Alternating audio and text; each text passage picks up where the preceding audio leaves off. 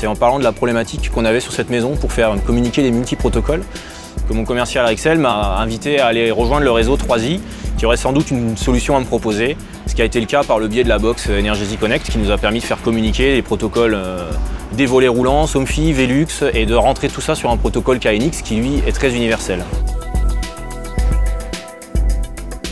Ensuite, on a géré évidemment l'éclairage, les ouvertures portail de garage et portail extérieur. Et on a pu également, à la demande du client, euh, lui proposer une solution pour sécuriser sa piscine, sachant que la piscine a été posée une fois que la maison était terminée. Nous, on a pu se remettre sur le système domotique KNX qui reste toujours évolutif.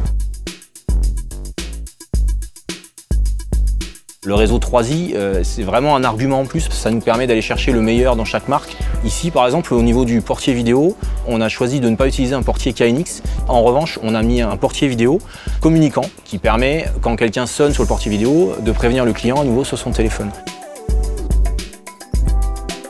Le réseau 3i propose aussi tout un accompagnement sur le terrain, pendant la préparation et ensuite sur le suivi du dossier jusqu'à la fin. On est en relation en permanence au début, à partir du moment du chiffrage et de trouver les solutions, jusqu'à la mise en service, on est accompagné par le réseau 3i.